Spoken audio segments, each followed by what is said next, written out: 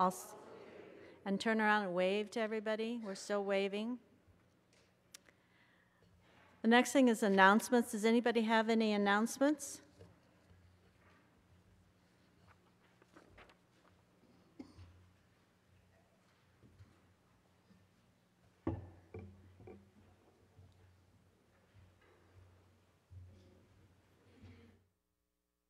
Last chance to get your Christmas Around the World tickets today after uh, church in the lobby.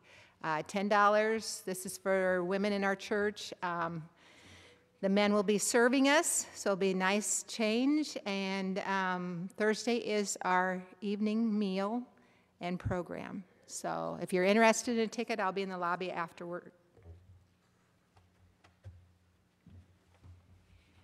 Good morning. The youth are going to be caroling tonight, and so um, their youth director is not a good singer, so we need some help. We have some that have been ill, so if um, anybody wants to come caroling, um, to some people, our, our uh, members that are at home, uh, feel free to come at five and join us.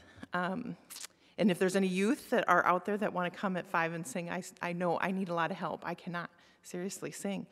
Um, and then we will meet again, and then on the date's going to be in two weeks, and it's a fun, fun Christmas party. So if you know any youth that would be interested, do you know the date? I can't.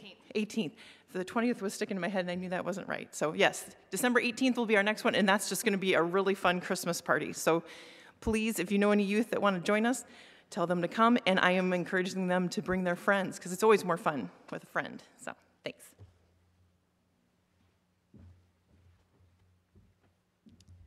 Today is also 4G Sunday, so uh, the bucket's in the back. Uh, If you want to participate in that, you can. If not, we will quiet our hearts and minds for the lighting of the candles.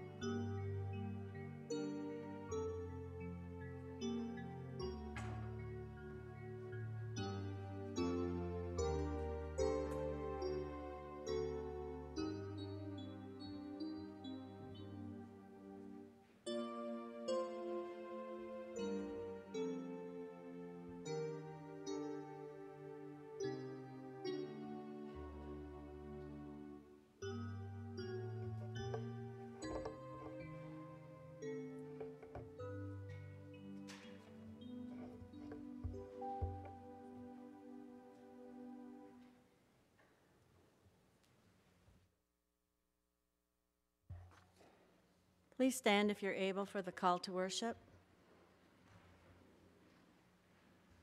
Prepare the way, deck the halls and light the candles. Prepare the way, open the doors and sing a song of hope. Prepare the way, make space in our hearts for a new kind of love. Christ is coming, prepare the way. You may be seated now as Joyce and Arlene and Cindy come forward for a special litany.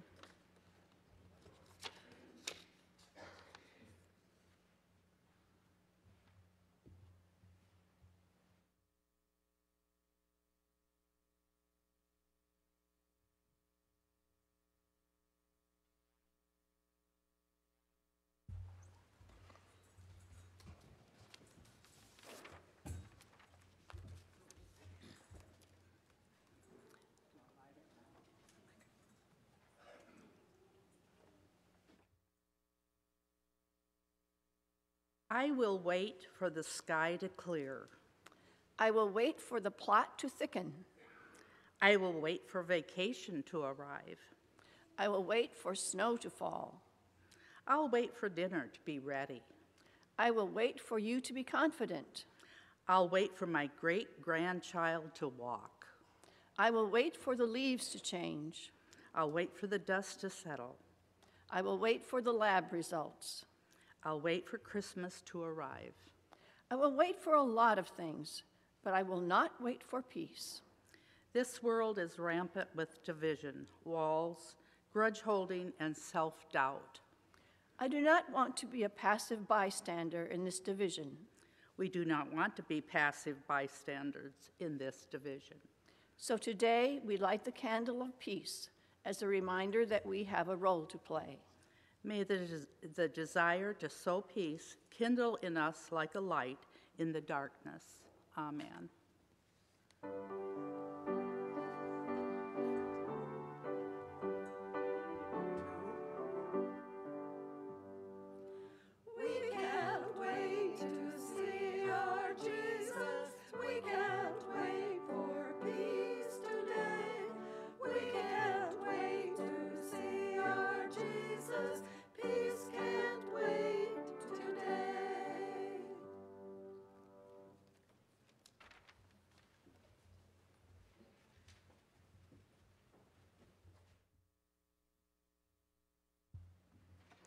Please stand as we sing hymn number 216.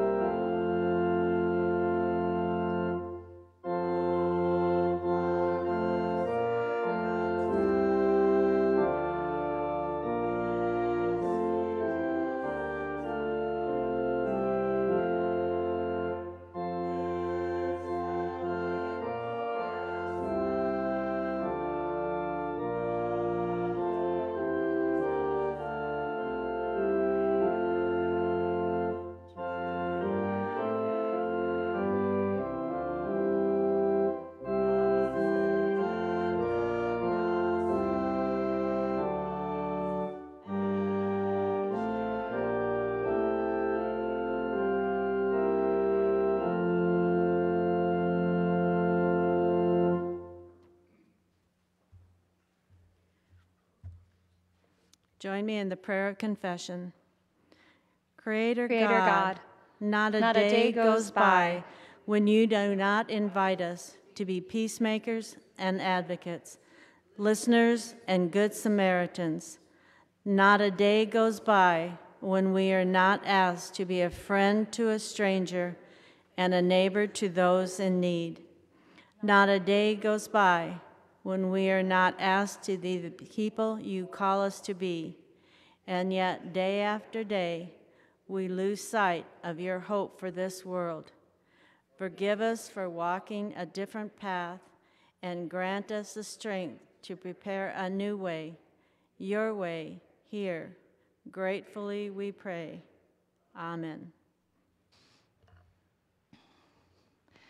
With the affirmation of God's love, you are a forgiven people. Amen. Let us sing together, It Came Upon a Midnight Clear, in our hymnal number 218.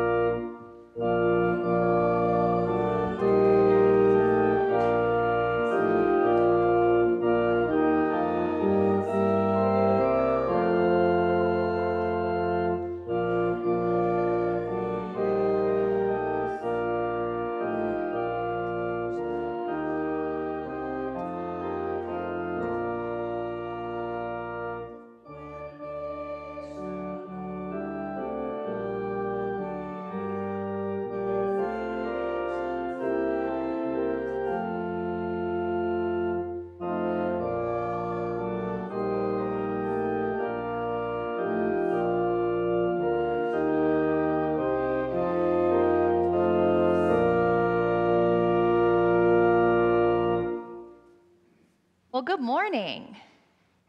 Today, our scripture is about, is about a man named John the Baptist. Have you guys ever heard of him before? No. no. Okay, have you heard of Jesus? Okay. Jesus had a cousin, and his cousin was named John the Baptist. Now, John was a very strange looking guy. Does anybody know what he looked like? Can the big kids help us? He had long hair, that's right. And he ate locusts. He wore funny clothes. He ate locusts. Do you know what a locust is? It's a bug. He ate bugs and honey, and he was really hairy, and he wore funny clothes. And he was Jesus' cousin. And Jesus' cousin, he went out into the middle of a really big river and he said he was preparing the way for Jesus. And so he was asking all these people to come and be baptized. And so he was taking their heads and he was dunking them in the river and bringing them back up. And he told them that they were forgiven. And it was a big deal. Not just because he was baptizing them, but because he was a pretty strange looking guy. And he had a pretty strange message. And people were coming all over to receive it. So, uh, Jesus' cousin was a really, really important person in the story today because during the, the weeks that we lead up to Christmas, we talk a lot about preparing the way for Jesus, just like John did. Is your hand up? Are we just, da- oh, we're dancing, I see, okay. Sorry. That's okay. So, John and Jesus were best friends. Do you have cousins? Yeah. Do you like to play with them? Yeah. Are any of them your best friends? What? Are any of them your best friends? Your cousins? Yeah, some of them. Yeah, so cousins are really special, and John and Jesus were very, very close. And he liked to help Jesus. John really liked to help Jesus. They were. Um, they were best friends ever since they were in their mommy's bellies. They were in their bellies at the same time. So when their moms would hang out and the babies were in the belly, they would kick and play with each other. And that's so cool. Yeah. It's really important that John worked to make love and forgiveness for everybody. So he was helping Jesus prepare the way, and we have to help prepare the way for Jesus to come. So that's why we're learning about John today. Will you pray with me? Okay, let's clasp our hands. God, we thank you for John the Baptist and Jesus who teach us about love and how to make hope, peace, and joy acceptable to, accessible to everyone. In your name we pray. Amen. All right, you all can take a treat and head back to your space with your families.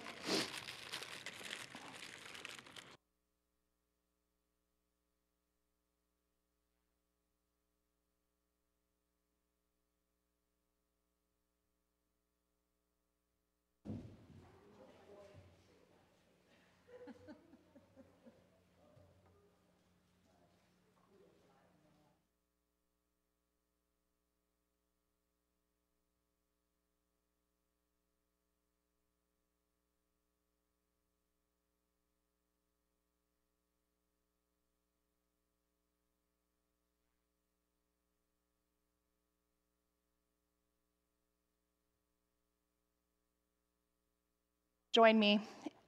Will you all join me in a word of prayer? Comfort, comfort, O my people. In times of exile and displacement, the prophet Isaiah boldly proclaims that the Lord is coming and comfort will be found in the midst of the wilderness. As we spend our weeks in preparation for the coming Prince of Peace, we are in lament for our siblings who find themselves in unfamiliar places and far from the comfort of safety and freedom. We lament.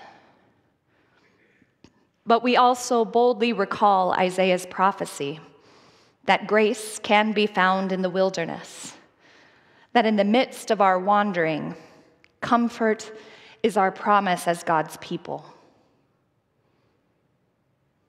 We thank you for the prophet Isaiah who has reframed grief for us so that we can move from a place of loss to a place of joy.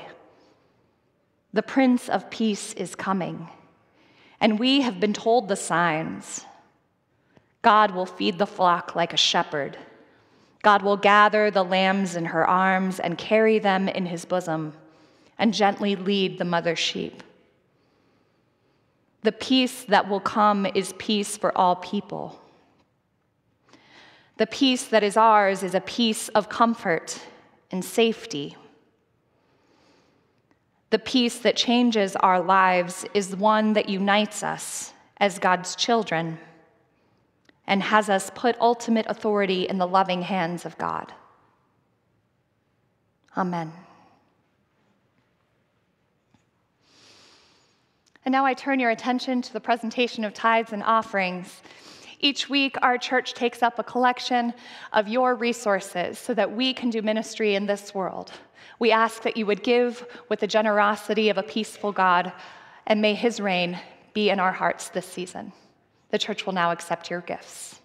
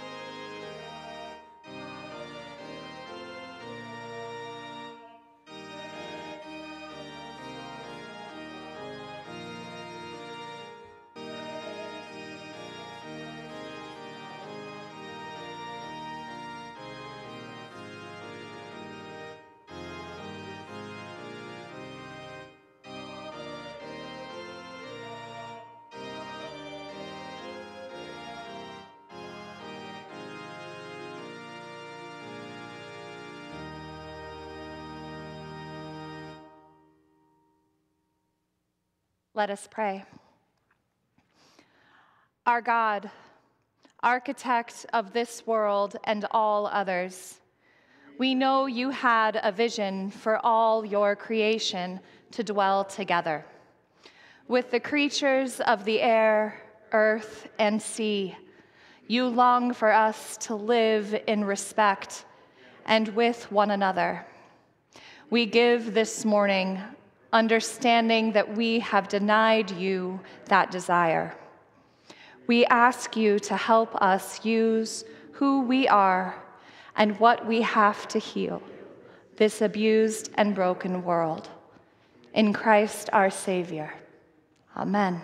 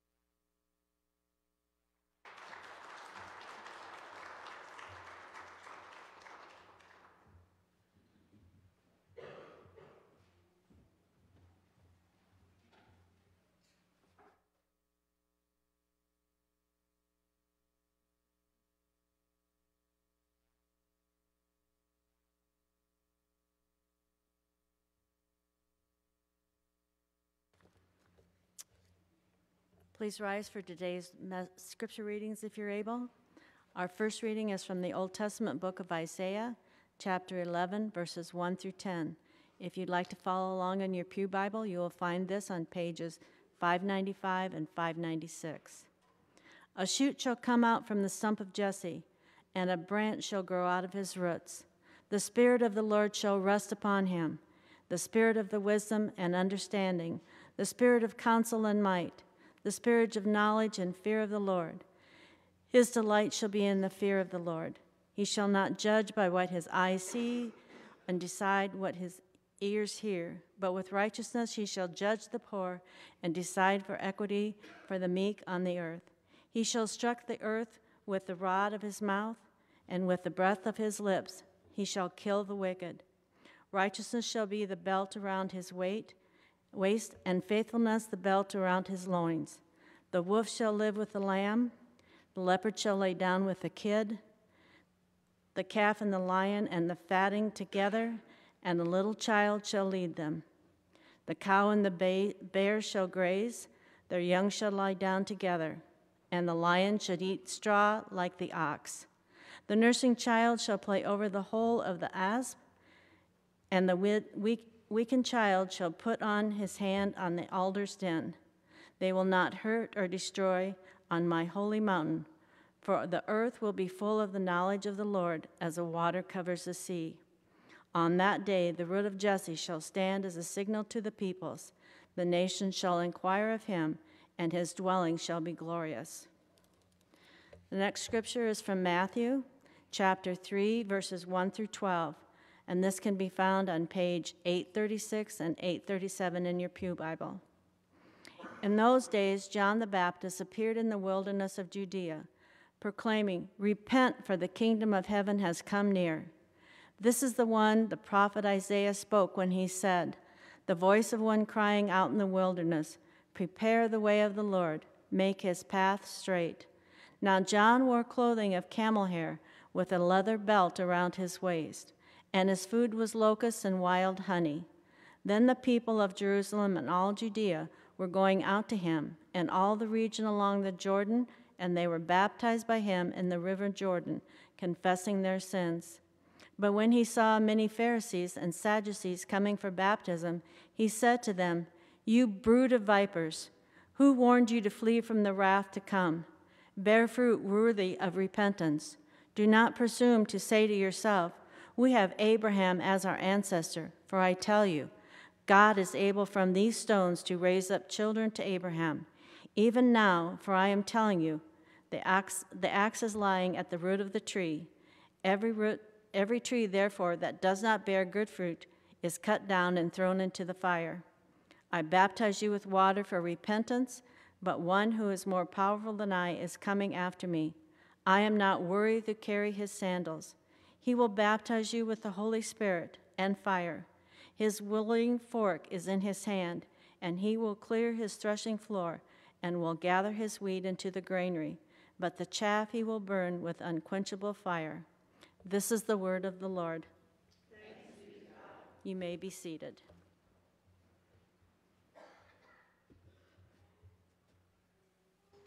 Good morning. Thank you all who had a part in today's worship service, and for everyone that came uh, and celebrated uh, Lori and I's Christmas party yesterday. It was a good time, a lot of fun, and we're very grateful that we got to spend um, some quality time with you all having fun. So, whether it is your first Sunday here or you've been worshiping here your entire life, you are indeed welcome in this place, and we are glad to have you. This is the second Sunday of our Advent journey, and it is dedicated to the principle of peace, which has been a huge part of the Jesus story from his birth to his death on the cross. The arrival or expected coming of the Prince of Peace in Jesus' time was long overdue. I imagine for them it was such a far fetched an idea as it would be for us today. Our text has a wild looking man crying out a wild message from the wilderness. John the Baptist, with his camel's hair and leather belt, going out into the desert to cry out a message of forgiveness, was an odd a scene and one that has us all wondering which was more odd the message or the appearance of the one delivering it. Together, they tell us that something about the preparation to follow Christ is going to be unorthodox. The coming of the message, the delivery, and the vessel are all pretty strange. And yet, John's response is pretty incredible. The people turn and come to him from all over. They hear a man who is not a king or a religious leader speaking with authority. He tells them, Come and repent, and you will be forgiven. For a people who had to purchase their forgiveness and make sacrifices to the temple, this radical message was quite refreshing. It was direct and it was open for all people in a way that repentance and forgiveness had not been before. John was also not affirming his own power or his own authority, but directing people toward Christ. While he called the broken to repent and be baptized, he told them of a new path, a new authority, which would bring with it more power and grace than anyone had ever seen.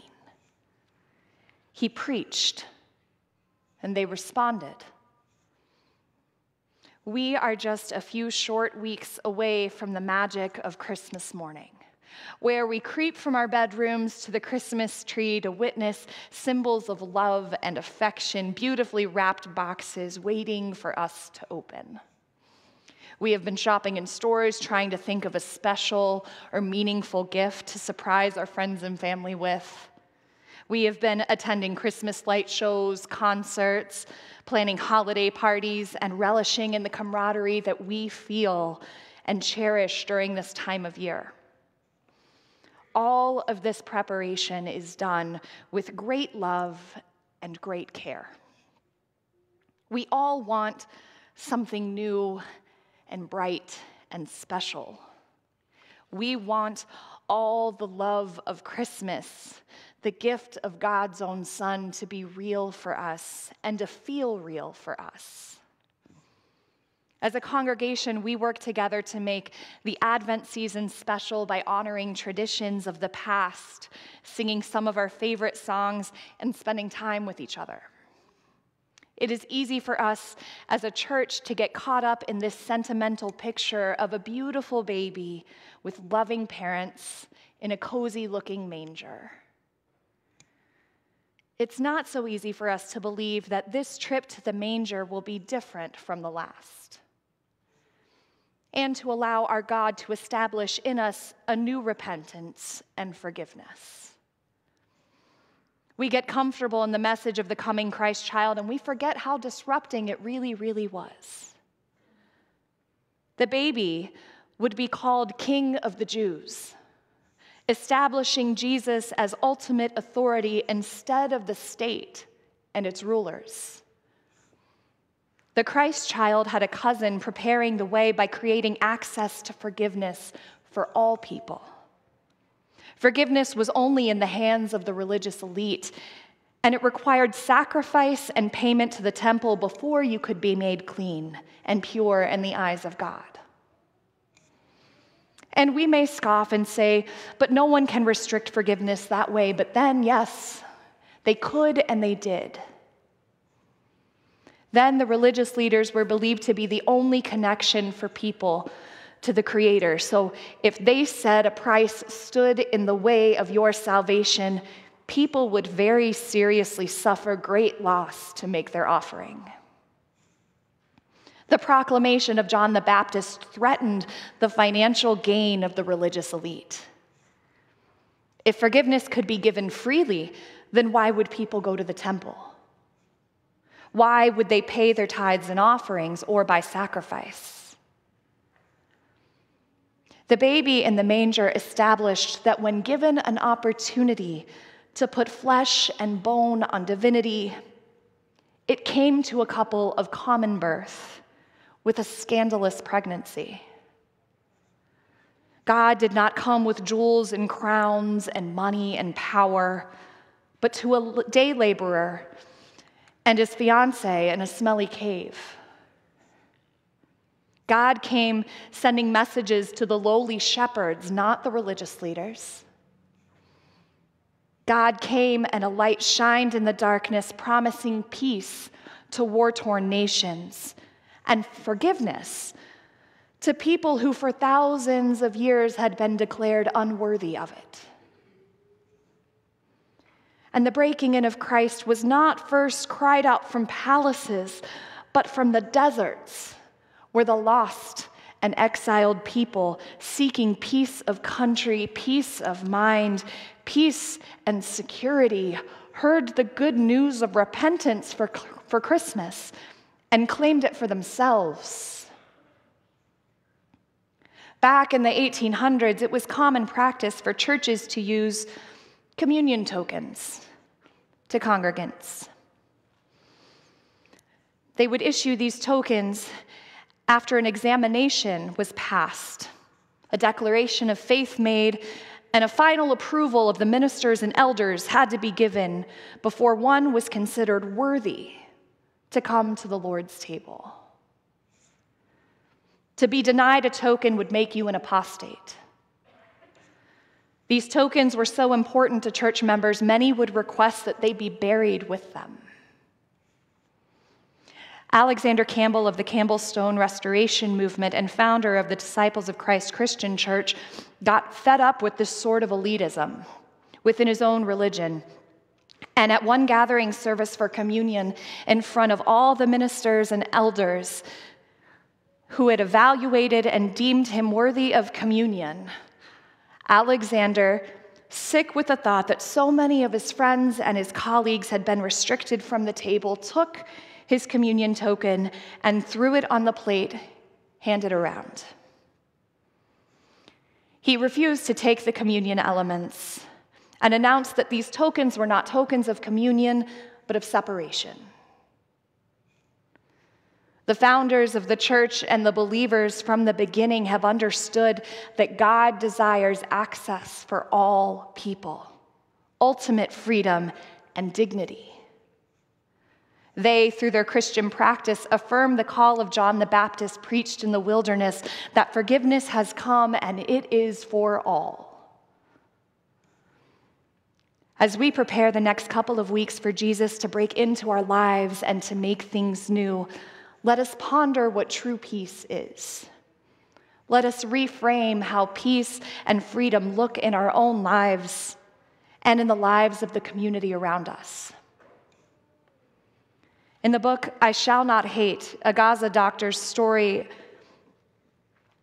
uh, a Gaza doctor's journey on the road to peace and dignity by Izzeldin Abuelaish, he states, at the borders of consciousness, there is a feeling that every stranger, anyone unknown to us, is an enemy who poses a threat.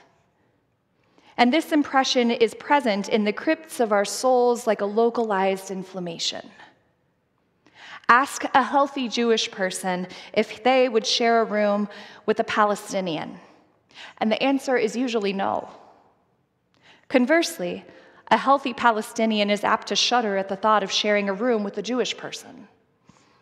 However, if they both become ill and are getting medical attention in the same hospital, it becomes acceptable to share a room with anyone as long as their health needs are met. Illness has now become a common thread between them.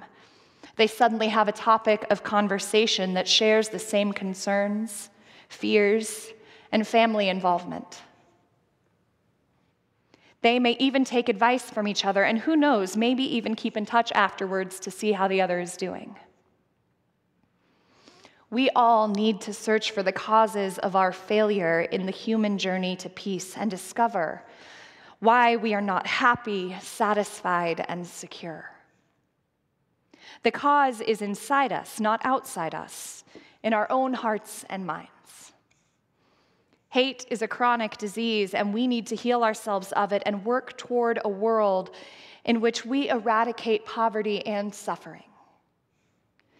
If a free society cannot help the many who are poor, it cannot save the few who are rich from hating each other. Talking is good, but it is not enough. We must act. People are suffering and dying every day. The smallest action is more resonant and crosses more boundaries than any words.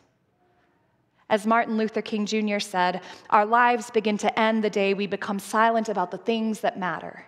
In the end, we will remember not the words of our enemies, but the silence of our friends.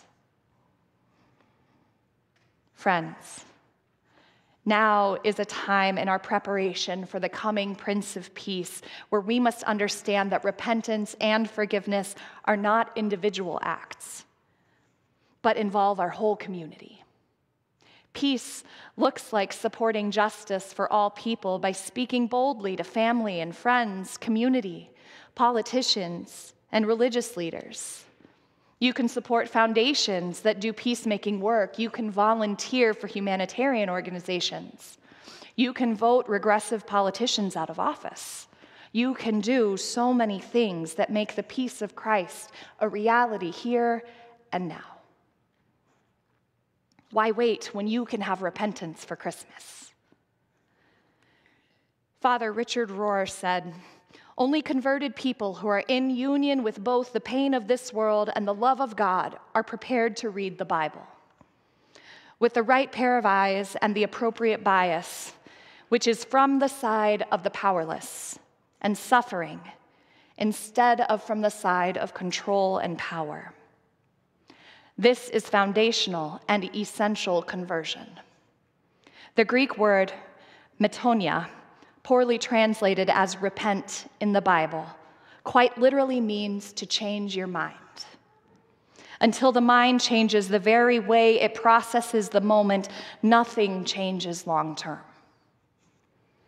Be transformed by a renewal of your mind, Paul says in Romans, which hopefully will allow the heart to soon follow. God can't wait for peace this season, and we are committing ourselves to the journey. May God lay aside our fear and direct our attention to what we can be when we repent of our idle waiting and turn toward peace. Amen.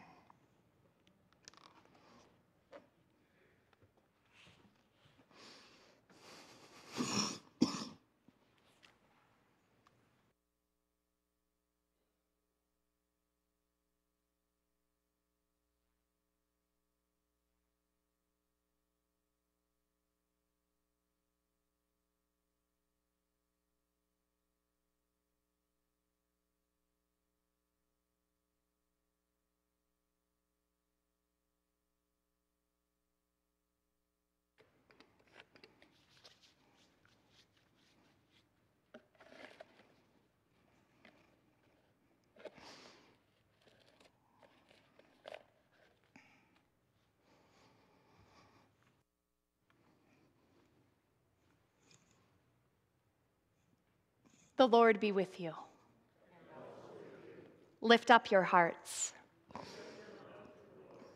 Let us give thanks to the Lord our God. We gather at this abundant table in anticipation and in desire. We anticipate the way God's breaking in will change us, and we desire a deeper relationship with God and with our church. We celebrate the hospitality and welcome of a creative and creating God who equips us to serve this community through Garner United Methodist Church.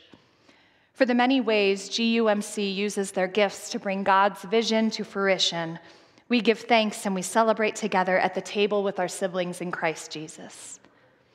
And so, with your people on earth and all the company of heaven, we praise your holy name and join their unending hymn.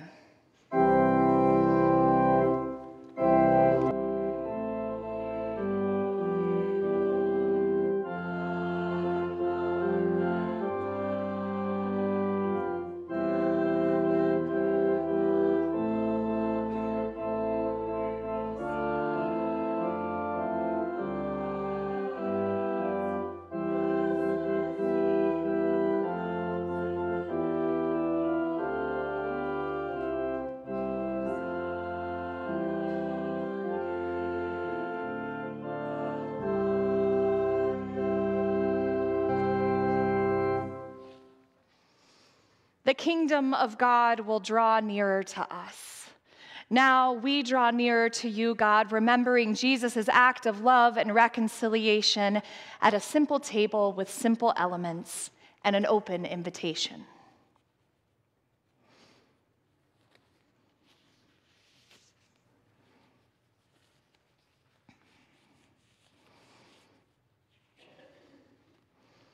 On the night that Jesus was betrayed, he gathered with his disciples in an upper room.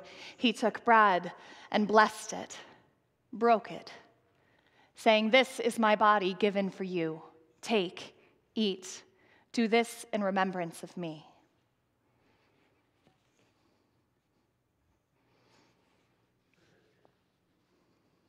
And likewise, after supper, he took the cup.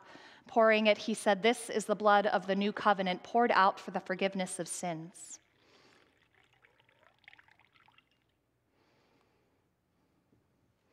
As often as you eat this bread and drink this cup, you proclaim the Lord's death until he comes again in glory.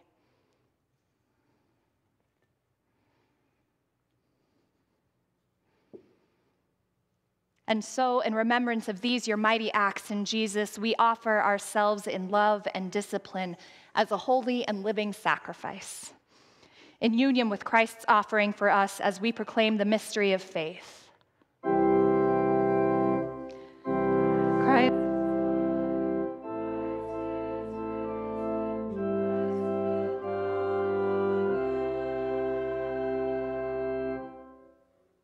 For the Spirit that has breathed newness into this life of the congregation, we give thanks and praise. May that same Spirit continue to guide and direct our ministry and our lives. We pray and praise these things in the name of the Creator, the Christ, and the Holy Spirit. Amen. All honor and glory is yours, Almighty God, now and forever.